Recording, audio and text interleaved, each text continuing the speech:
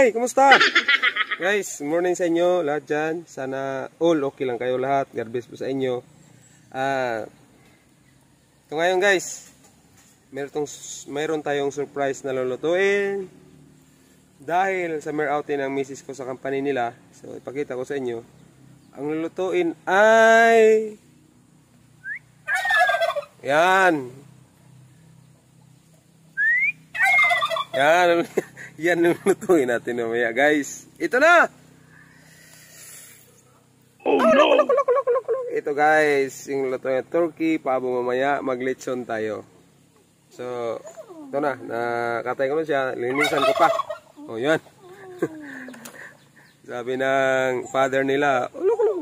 Pero guys, ito mamaya, lutuin natin, tsaka pakita natin uh, ano yung mga diskarte ko dito sa pagluto. Linisan ko pa. Kita ko sa inyo mamaya. Pag maano na to, matapos na.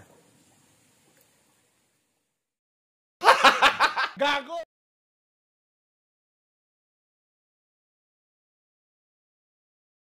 Litson! Malapit na pabo! Litson, pabo ni Barkyo. Yan mga guys. Yan mga kasamahan lang sa trabaho. Nasa summer outing yan eh. The Bluetooth device is connected successfully.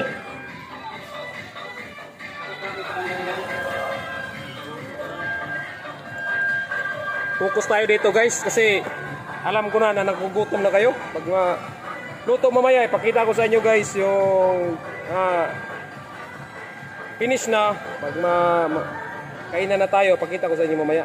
Ma-chop na siya. Ano? Sana all tayo guys.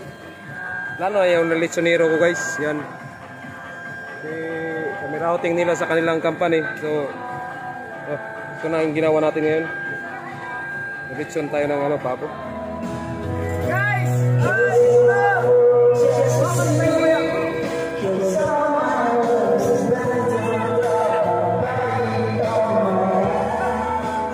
na. Naluto na yung litson pabo natin. So, alam na yung kasunod. Habhaba na tayo. So, pakita natin din mamaya. Magkakapag na tayo. Okay. Tapos na. Okay na. Oh my God! Oh no! Naluto na. Habhaba na tayo guys. Ito yung mga ano namin sa outing ng mga kasamahan ng TJS Group of Companies. Tayo guys.